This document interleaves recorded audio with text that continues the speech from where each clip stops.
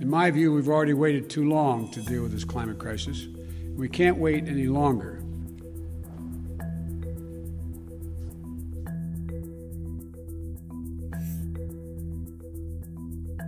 Do the American people truly appreciate the impact on how much it's going to cost them more to drive their car, how much more it's going to cost them to heat their home? I think what we are seeing is that climate change is already costing costing us hundreds of billions of uh, dollars a year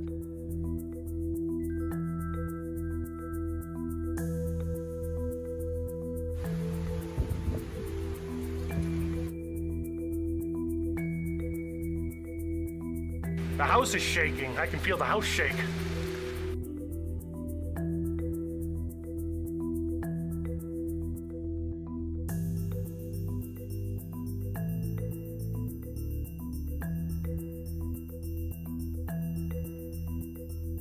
Everything that we own over the past 20 years, gone.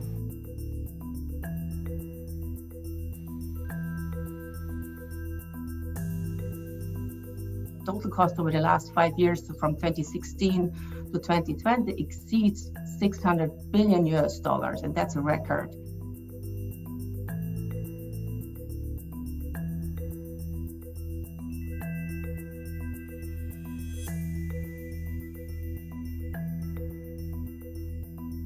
Each year that we wait to not invest into uh, mitigation today will cost us another 500 billion per year in the future uh, in higher costs of adapting.